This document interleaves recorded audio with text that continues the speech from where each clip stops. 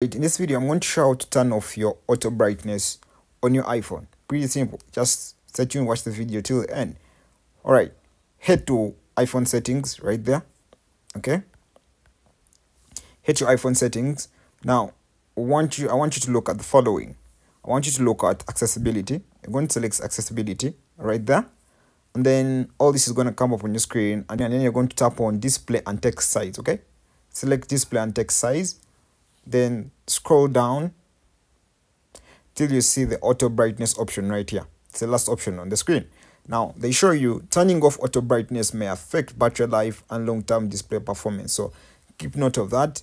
And then all you have to do is you're going to have to turn this off right here. Okay? You toggle this off. There you go. So you're being able to turn off auto brightness on your iphone. So please hit the subscribe button for more videos like this